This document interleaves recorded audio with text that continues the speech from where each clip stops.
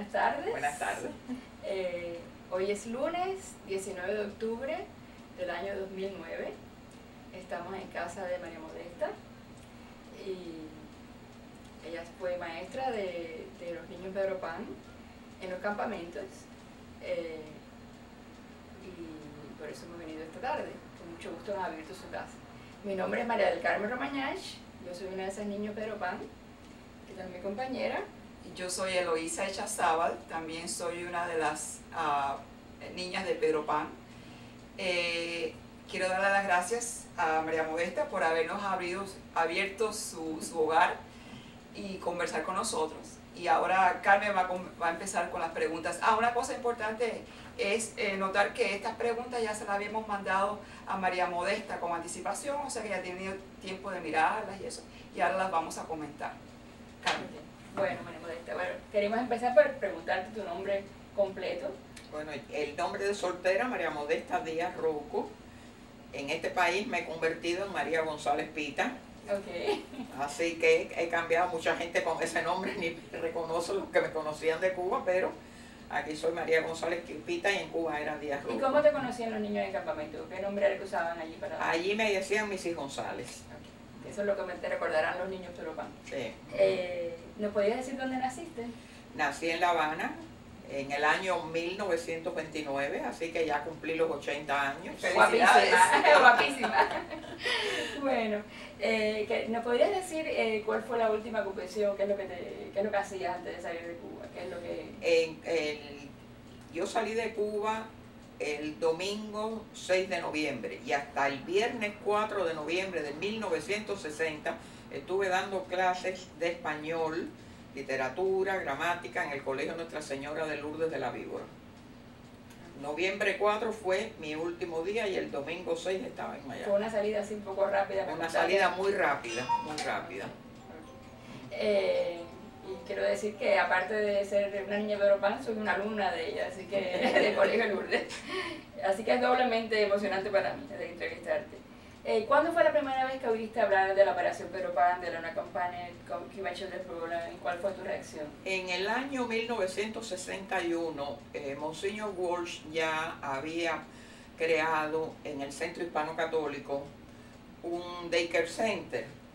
Al lado del daycare center estaba, al lado y en los altos estaba la escuela del de la iglesia Yeso, estaba el colegio Yeso. Entonces mis eh, hijos mayores que tenían seis años, los Jimaguas, Henry Barón, iban al yeso, el más chiquito de tres años empezó a ir al daycare del Centro Hispano Católico.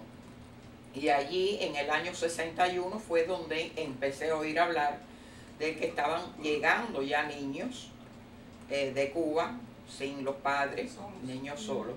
Allí fue donde... ¿Cuál fue tu reacción cuando viste eso? Bueno, mi reacción fue doble. Por un lado, me daba una tristeza enorme aquellos niños que llegaban solos a un sitio desconocido, que para ellos era totalmente diferente. Y por otro lado, comprendía que los padres los mandaban por el bien de ellos. Así que era una, una especie de sentimiento Doble. casi Claro. doble, opuesto.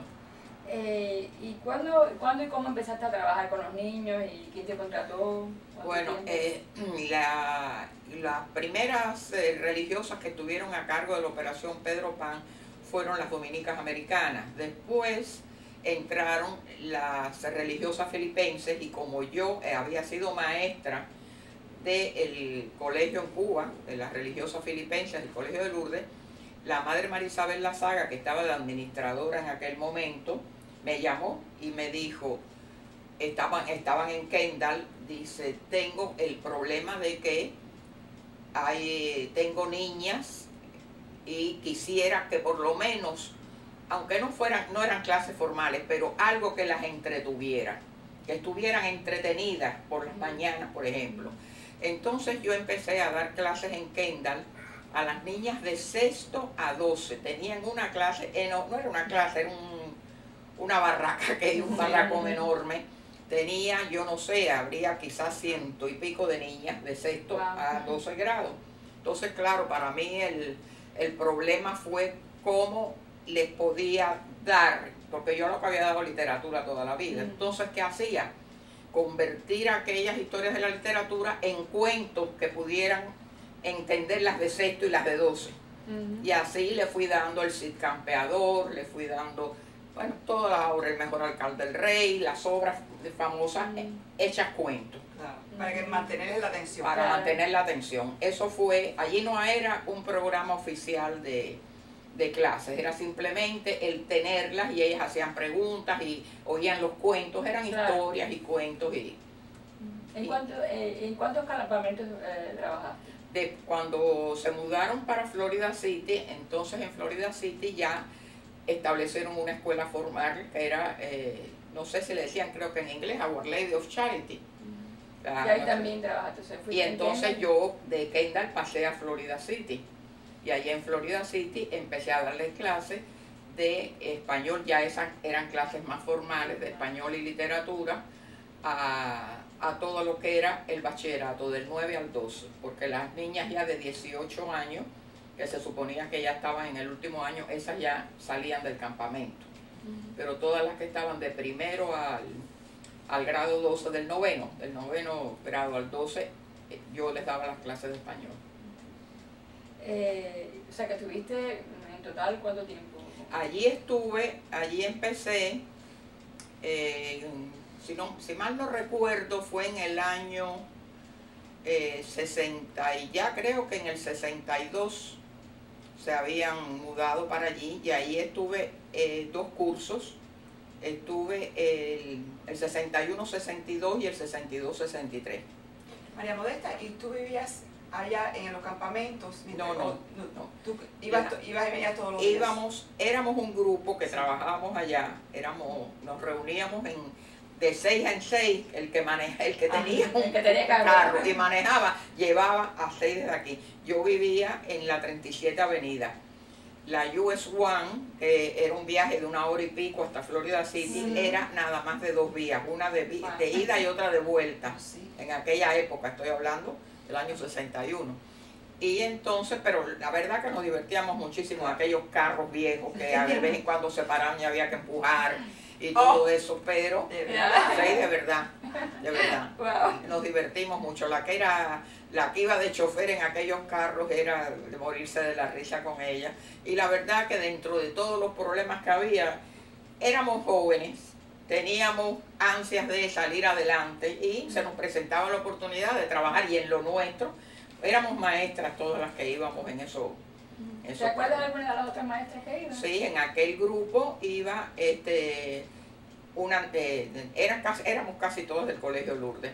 Iba la, la doctora Lara, María Teresa Lara, iba eh, Leopoldo Arista, que era el profesor de arte. Eh, después una temporada el chofer nuestro fue el ingeniero Rafael Bedia, que daba matemáticas, eh, físicas y cosas de, de ciencia. Iba Enmar Rodríguez, que el colegio siempre se le llamó Pituca, que fue el chofer también por una temporada, Pituca fue chofer. Es decir, a veces cambiamos porque a veces alguna se mudaba, pero eh, éramos un grupo casi todas conocidas de, la víbora. Allí dio clases también Ernesto García Tudurín, que era profesor del Instituto de la Víbora, de Agricultura. Y, y, la verdad que dentro de los problemas que había, pues no puedo decir que lo pasé mal. ¿Cómo era un día normal para ustedes? ¿Ustedes llegaban a cierta hora, empezaban las clases? Sí, no, no, las clases empezaban, nosotros estábamos allí a las 8 de la mañana. Ah, tendría que ser bien tempranito. Sí, empezábamos a las 8 de la mañana y a las 12 del día había misa, que no era obligatorio, el que quería iba a la misa, el que no iba a la misa, estaba el almuerzo de los niños y después por la tarde, si mal no recuerdo, eran dos horas de clase. Eran tres horas, tres, cuatro horas por la mañana y dos por la tarde, eran seis horas diarias. El día completo. Sí, ¿Cómo era tu relación con los niños? Por ejemplo, eh, ¿tenías tiempo de conversar con ellos individualmente? Sí, los niños más que en realidad eh, eh, aprender, lo que tenían ganas era de hablar, de hablar, de contar de sus problemas, de decir, recibí carta de mi mamá, Entonces, eh, en las clases no resultaban, desde el punto de vista del aprendizaje, las clases no eran realmente fáciles, porque allí, por ejemplo, fuera de la, del, del colegio, en lo que era parte del campamento, había un teléfono público, donde de Cuba llamaban muchas veces a los niños, y entonces aquello, la clase se paralizaba cada vez que entraba alguien y decía, hay una llamada para Juanito Pérez. Mm. Juanito Pérez salía de la clase y aquella clase se quedaba mm. todo el mundo esperando a que Juanito regresara y mm. contara. que era lo que le decía a su mamá desde Cuba. Una pregunta, ¿tú has visto el documental que se llama The Lost Apple, la manzana perdida? Porque es un documental acerca de, los, de los niños en aquel tiempo, lo hicieron creo que en el año 61 y lo hicieron en Florida City.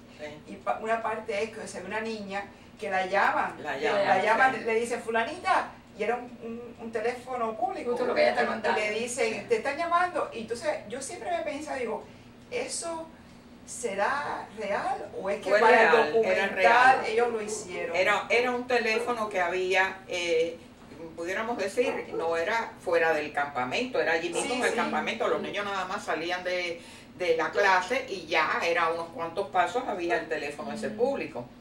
Y entonces lo recibían en la oficina y traspasaban el, decían, están llamando en la clase tal, entonces avisaban en la clase y la niña o el niño salían corriendo hacia ese teléfono.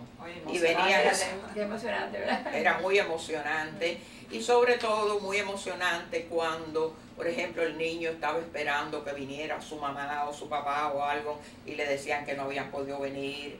En aquella época eh, eh, vinieron eh, muchos padres a través de aquellos barcos que enviaban con, con medicinas para Cuba cuando después de, de lo de Playa Girón y eso enviaban con medicina y venían los barcos aquellos con gente de Cuba. Y varios de los padres de aquellos niños vinieron en, aquellos barcos y cuando les avisaban, oye, mañana salimos en el barco, en el ferry, que era el que venía, para allá los niños se volvían locos y, y vaya, era, era, era una, las clases muchas veces eran muy emocionantes, eran, eh, había de todo, había tristeza, había alegría, había, de todo. Claro. Además era mamá también, o sea que me imagino como madre tenía que ¿Y, y, la, ¿Y, los hijos tuyos de qué edad, qué edad tenían? los hijos míos en aquellos, ellos llegaron aquí, los mayores de 6 años y el más chiquito de 3, que fue cuando fueron para el yeso. Mm. Ok, ¿tienes recuerdos de otras personas con las que tú trabajabas? O, tú sabes, compañeros, compañeras. bueno, tengo, tengo muchos recuerdos de todas las que trabajaron conmigo. Eh, la que fue eh, durante eh, tiempo directora de la escuela, que era una extraordinaria pedagoga y una magnífica persona, fue la doctora Mercedes García Tudurí. Mercedes García Tudurí estuvo de directora, no recuerdo cuánto tiempo, pero... y las clases en realidad, los niños se portaban en general bien, no teníamos problemas de disciplina, salvo alguna, de vez en cuando siempre había algún niño que era, pero pero en general se portaban bien. Eh, y había de todo, como todo, había niños muy tristes, había otros niños que se les olvidaban las cosas y jugaban y hacían de, todo. Recuerdo, por ejemplo, un niño que tuve en séptimo grado, que yo veía que nada más miraba para el pupitre y para el pupitre, que nunca me miraba. Y eh, como a los dos o tres días de esta situación pasé por el pupitre y vi que tenía el retrato de su mamá puesto arriba del pupitre. Y lo único que hacía todo el tiempo era mirar el retrato de su mamá. Eran cosas que, vaya, uno lo, lo conmovían mucho. Eh, ¿Y cómo qué edad tenía ese niño? ¿Te acuerdas? Ese niño debía de tener alrededor de 11 años. Estaba ya en, como en sexto grado. ¿Y te has mantenido en comunicación con algunos de los muchachos? En los primeros años me escribían de donde los mandaban Recuerdo uno de los primeros grupos que se fue para el estado de Washington, creo que, que fue Spokane. Spokane, Allí los mandaron, eh, eran las mayores ya. Aquel grupo era extraordinario porque eran niñas ya casi realmente graduadas de high school. Niñas de las dominicas americanas, del Colegio Lourdes, vestidas, las mandaron de Cuba vestidas que parecían modelos todas. Y fue de lo más curioso aquello porque casi enseguida que llegaron, esa, ese college que había allí les dio becas como a veintitantas de ellas. Y se fue el grupo de las veintitantas. Entonces me escribían desde allá que las estaban esperando en el aeropuerto el alcalde, los eh, reporteros de la televisión, de, la, de los periódicos, y que cuando ellos, claro, en esa parte de Estados Unidos, como en casi todos los Estados Unidos, habían hablado, oído hablar de Cuba, de la rumba y la mulata y el ron y, y cuando vieron bajar aquellas niñas vestidas con aquellos neceseres que se usaban en la mano, cada una con su neceser, bajar Con sombrerito, ¿no? No. algunas traían, algunas traían sombrerito. Una de ellas me decía, imagínense que uno de los de la televisión me preguntó, me miró de arriba abajo y me preguntó, ¿y a ustedes las vistieron en Miami? Y que ella dijo, no señora, nosotros salimos vestidas así de Cuba. Y les preguntaban si en Cuba había teléfono. Claro. Ay, ellas estaban en estado de shock con Claro. la pregunta que, pregunta. Que, le- que les hacían, porque ellos no pensaron nunca que 25 niñas cubanas iban a estar con esa elegancia y esa que, Claro, claro que sí. que con la que llegaban allí. Eh, Esas historias, de esas historias ha, ha habido muchas. Sí. Sí. Bueno, eh, quería eh, preguntarle también qué disfrutó más de la época. Bueno, que he dicho algunas cosas que disfrutaste mucho la, la época. ¿Qué fue lo que más, eh, más difícil para ti? De aquella época, Sí. bueno, lo más difícil fue precisamente eso, el, eh, el estado emotivo que Emotivo tenían aquellos muchachos. Ellos estaban bien cuidados, los foster parents allí, los, los house parents, que era como le llamaban. Los house parents eran gente muy buena, los matrimonios eran gente muy buena. Claro, con el problema